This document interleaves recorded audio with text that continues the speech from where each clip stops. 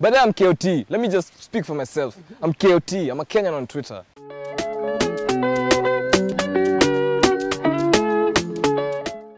Do you know when Twitter started? I have no idea. I, I just know the founders are rich and they were in PayPal. Twitter started in 2006 and the first tweet was made in March. Well, let's move on to more interesting stuff.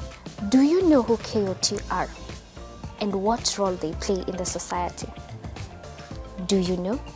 From my understanding, Kenyan on Twitter. K O T. They are people on Twitter who use the platform to speak or to address a particular issue in the country or even outside Kenya if they want to really bring change. It takes them 10 seconds to make a particular issue trend.